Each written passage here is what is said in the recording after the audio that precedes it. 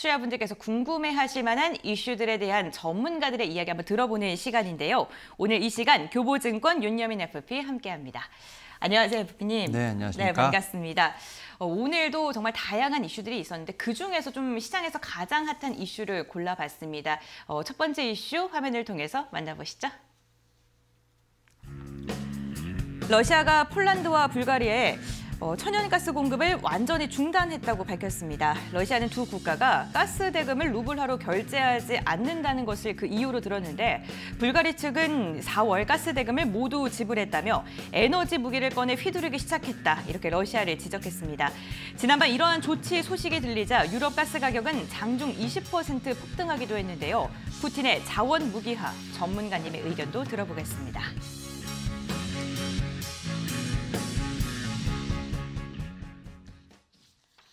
네, 러시아의 국영 기업인 가스프롬이 폴란드와 불가리아를 향한 가스 공급을 중단했다라는 소식이 들려왔습니다. 어, 정치는 어차피 이 명분 싸움이잖아요. 네. 그렇죠. 근 러시아 같은 경우는 루블화로 대금을 지불하지 않았다. 그런데 폴란드랑 그리고 또 불가리아 측은 지불을 했다. 4월걸 이미 지불했다. 네. 이런 상황이거든요.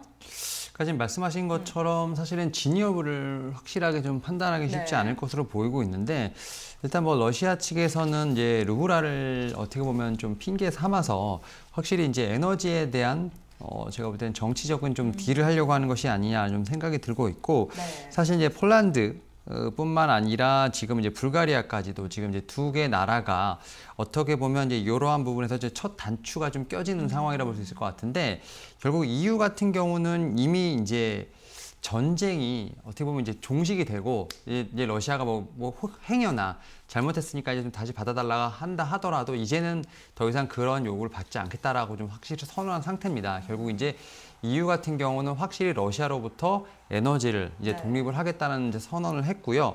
좀 그러한 측면에서 봤을 때 뭐 2030년까지 이제 러시아산에 대한 부분들을 거의 뭐 제로로 만들겠다, 수입을 제로로 만들겠다라는 좀 어떻게 보면 지금 법률을 좀 제정하고 좀 그런 부분이 있기 때문에 결국 이제 폴란드 그다음에 이제 불가리아가 어떻게 보면 첫 시작이 될 수 있겠습니다만 다른 나라들도 확실히 좀 대비를 하는 모습을 좀 보여줄 수 있는데 결국 폴란드 같은 경우는 지금 이제 LNG 터미널 관련돼서 지금 2027년까지 완공을 하겠다라고 좀 얘기를 했었는데 이걸 좀 2년 정도 앞당길 생각을 하고 있는 것 같습니다. 2025년까지 LNG 지금 터미널을 완공하겠다고 얘기를 했고 특히 이제 불가리아 같은 경우는 이제 뭐 계약 위반에 대한 부분을 좀 강하게 드라이브를 걸고 있습니다만 결국은 그 뒷면에서는 결국 에너지원을 공급받기 위한 좀 노력을 하지 않을까 좀 생각을 하는데 이 사태와 관련돼서 지금 이제 EU 쪽에서 좀 여러 가지 얘기가 나오고 있고 결국은 이제 러시아산 가스 공급에 대한 부분이 이제는 어, 준다 하더라도 지금 EU 같은 경우는 이제 미국 같은 쪽, 카타르 쪽으로 이제 좀 어떻게 보면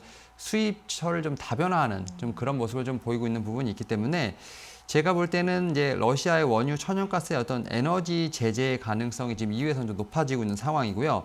에너지 자급 확대를 위해서 뭐 천연가스의 어떤 새로운 이제 조달처를 확보를 하는 부분들 여기에 이제 LNG 전환 투자 그리고 이제 가장 중요한 거는 풍력과 태양광 같은 이제 어떻게 보면 신재생 에너지 쪽으로 해도 에너지 확대가 좀 이어지지 않을까 좀 생각을 하면서 결국 이러한 부분들이 뭐 우리나라에는 그래도 좀 호재로 이어지지 않을까라는 생각을 하고 있고 네. 관련돼서 지금 이제 어제 좀 종목들의 좀 움직임이 있었죠 에너지 관련된 종목들 좀 테마처럼 움직였는데 약간 이렇게 테마적으로 테마적으로 움직이는 종목들보다는 오히려 이제 좀 이러한 수혜를 직접적으로 받을 수 있는 섹터를 좀 차분히 공략해 보시는 게 어떨까라고 좀 생각을 하고 있습니다. 네, 그렇군요. 어, 유럽에서 이제 러시아의 화석 연료 시대가 끝났다라는 언급을 또 간밤에 하기도 했습니다. 그만큼 점점 더 빠르게 탈러시아화가 되고 있는 것 같은데요.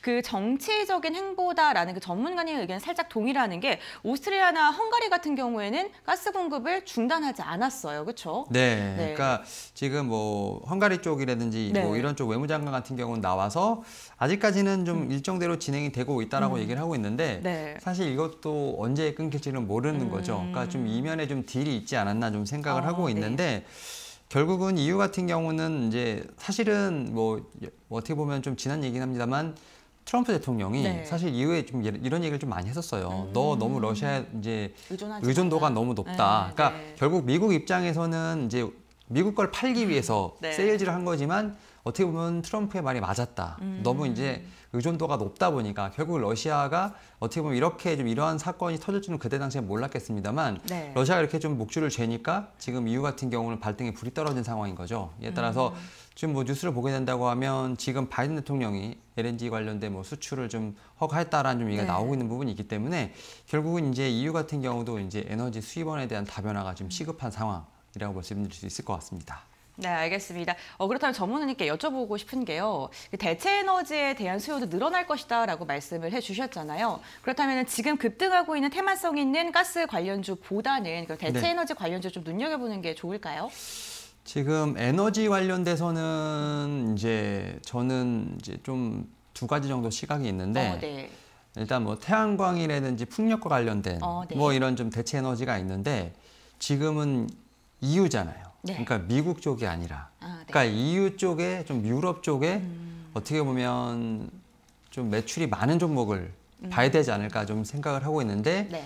풍력 쪽에서 봤을 때 좀 유럽항 매출이 좀 가장 많은 종목이 있습니다. CS 윈드라고 하는데 그리고 이제 연결 자회사가 CS 베어링이고요. 네. 이두 회사가 유럽향 좀 미- 매출이 좀 높은 상황이고 대부분의 태양광이나 이제 풍력 같은 경우는 사실 뭐 아시아나 뭐 네. 우리나라 국내도 그렇고 유럽 보다는 미국이 좀 많기 때문에 이런 수혜가 좀 전체적으로 온기가 퍼지려면 좀 시간이 걸리지 않을까 생각을 하고 있고 네. 이와 더불어서 좀 더 강력한 어떻게 보면 수혜를 받을 수 있는 섹터는 있습니다. 어, 어떤 섹터죠?